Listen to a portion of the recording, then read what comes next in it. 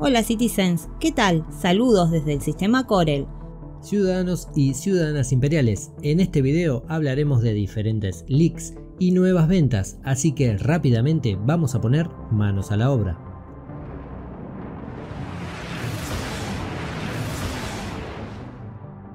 Como ya todos saben, el 22 de mayo comienza el Invictus Launch Week y con él algunas sorpresas. Entre ellas hemos podido observar en algunas imágenes que han surgido mediante diferentes filtraciones la enorme nave Orgullo de la Flota Imperial.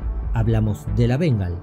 Esta enorme nave que supera los 900 metros de largo impone su presencia ante enemigos de la humanidad como son los Banduls y es, podríamos decir, el arma más poderosa que tiene en su flota el Imperio Unido de la Tierra o lo que conocemos como UEE. E. Con naves de apoyo, cazas y bombarderos que lleva consigo, se torna casi inexpugnable, aunque los altos mandos reconocen que a pesar del poderío de dicha fortaleza volable, se han visto superados alguna vez como ha sucedido en las batallas de Orión, ante naves capitales como lo es la Kingship. Pero claro, hablamos de otra nave que llega casi a los 4 kilómetros de largo, un verdadero monstruo espacial.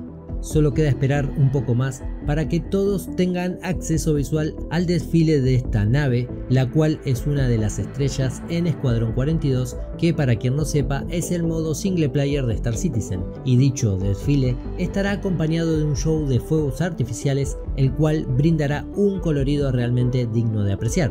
Por otro lado, nos han mostrado diferentes capturas de la exposición de Drake, donde podremos ver la serie Kudlas en todo su esplendor, Hablamos de la Red, la Blue y la versión Black, junto a la siempre imponente Caterpillar y otras naves de dicha firma. Lo mismo sucederá con otras constructoras donde tendremos salones de exposición en los cuales visualizar parte de sus naves o todas en algunos casos. También tendremos la muestra holográfica en estos salones donde podremos visualizar naves que aún no se encuentran volables y podrían estar más cerca de lo que pensamos como sería el caso de la Kraken de la constructora Drake, ese portanaves que podría convertirse digamos casi en una base móvil ideal para cualquier clan o organización, o la mismísima Vulture de la misma constructora, esa hermana menor de la monstruosa Reclaimer, y decimos hermana menor ya que es una nave dedicada al rol de Salvage, al igual que la nave de Aegis Dynamic.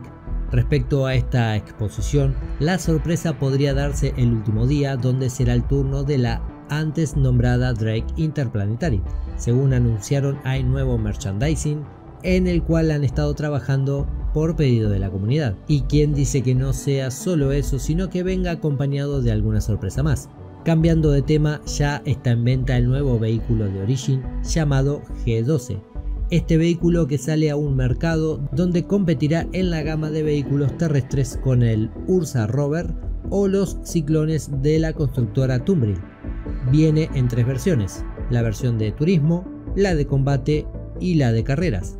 Con líneas verdaderamente elegantes, es el vehículo ideal para acompañar a una 600i en su versión de exploración, ya que la versión de turismo, bueno, no posee elevador de carga. El costo de este vehículo es de 55 dólares y si obtenemos el pack de los tres vehículos juntos, el costo llegaría a 155 dólares, ahorrando con esto 10 dólares en total. La versión de turismo que vendrá en color blanco nos ofrecerá una torreta remota que podrá cubrir 360 grados con dos armas de tamaño 1 del tipo láser. Además, podremos llevar alguna caja en este vehículo, ya que tendrá una capacidad de carga de 2 SKU. Por su parte, la versión G12A será la dedicada al combate. Cuenta con un sistema de ruedas para adaptarse a todo tipo de terreno, además de misiles y contramedidas para adentrarse en el campo de batalla.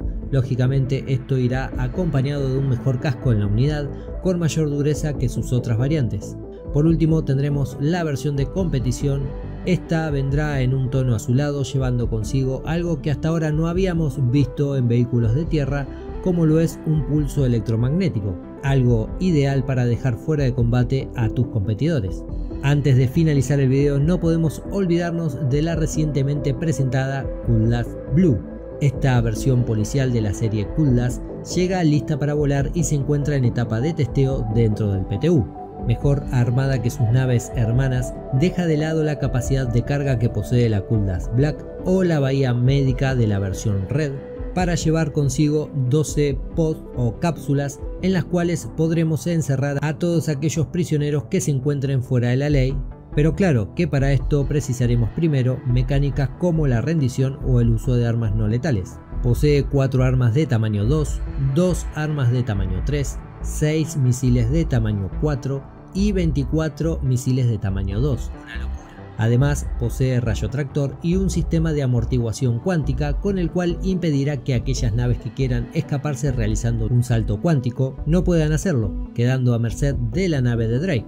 Otro dato de la Cutlass Blue es su costo, alcanza los 155 dólares, siendo de las tres la más costosa. Claro que la expectativa que generó su salida quizás se diluyó un poco en algunos bakers al darse cuenta que su mecánica, al igual que la de otras tantas naves, no estaría lista para disfrutarse hoy en día, pero es un buen comienzo sin dudas el saber que es una nave menos que queda por hacer, pudiendo dedicar ese tiempo de desarrollo y recursos en naves venideras como son la Mercury Star Runner, la Vulture o la mismísima Hércules. Así que el tren del hype está pasando ante nosotros, ciudadanos, está en cada uno el subirse o dejarlo pasar por lo que cuéntenos qué expectativa les está generando este evento, qué les pareció la Kuldas Blue o el flamante G12 de Origin. Ya saben que sus comentarios siempre son bienvenidos. Espero que este video los haya ayudado, les haya servido de algo. De ser así pueden dejarnos su like. Recuerden que pueden seguirnos en Twitter, Facebook, Instagram y Twitch. No olviden suscribirse si aún no están suscriptos. Y nos vamos, no sin antes desearles una gran vida a todos. Y ya saben, si salen al verso, Vuelen seguros. Adiós.